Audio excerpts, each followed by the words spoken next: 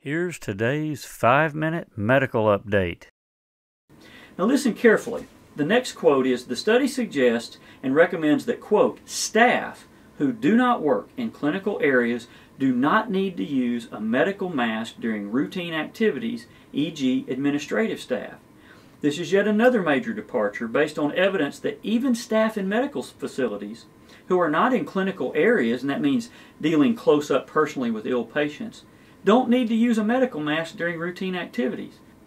Well, this opens up an entire world of questions and possibilities regarding all of the previous social, public, commerce, and church activity limitations that don't necessarily require contact closer than three feet with people known to be infected with coronavirus and that might uh, enable us to go about normalizing our activities without having to wear masks as long as we use good hygiene and try to distance where we can as long as we know the person's not infected. Another major admission of this study and review is that the authors state that, quote, when conducting screening activities such as interviews, no mask is needed if a distance of at least one meter can be maintained and there's no direct contact with patients. So this is yet another admission of an understanding now that six feet distance is not necessary and that only close contact, less than three feet, is a significant risk and that only direct contact uh, precautions are the ones that need to be taken for the vast majority of social settings. So the authors go on to state that the studies suggest that individuals, quote, would need to be in close proximity to an infected person in the household or at a mass gathering where physical distancing cannot be achieved to become infected with the virus and that influenza-like viruses tend not to be transmitted when there is not close proximity to a known infected person in a household or a mass gathering. Now,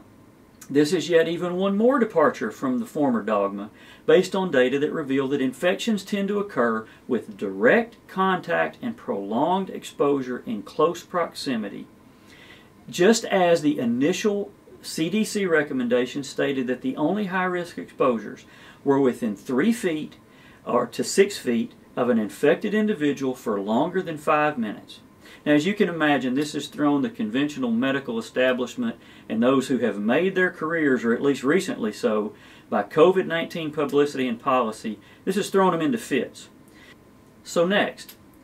at the present time, the authors state, in quote,